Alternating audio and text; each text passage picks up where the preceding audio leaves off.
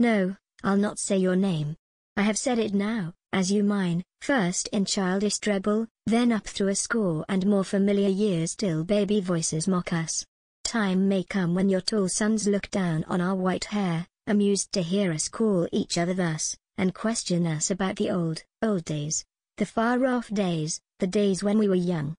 How distant do they seem, and yet how near now, as I lie and watch you come and go, with garden basket in your hand, in gown just girdled, and brown curls that girl-like fall, and straw hat flapping in the April breeze, I could forget this lapse of years. Start up laughing. Come, let's go play. Well a day, friend, our playdays are all done.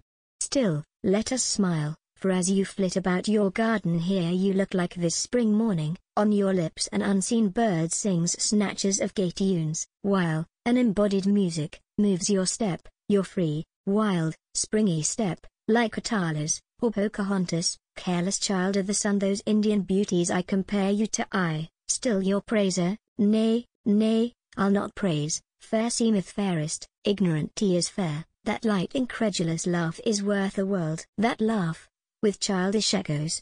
So then, fade, mere dream.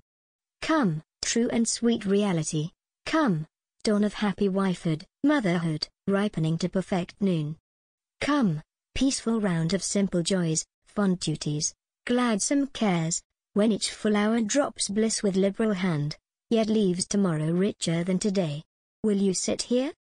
The grass is summer warm. Look at those children making daisy chains, so did we too, do you mind?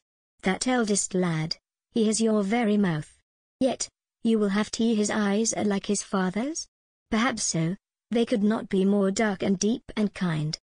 Do you know, this hour I have been fancying you a poet's dream, and almost sighed to think there was no poet to praise you why. You're flown after those mad elves in the flower beds there. Ha ha you're no dream now. Well, well so best. My eyelids droop content or moistened eyes, I would not have you other than you are.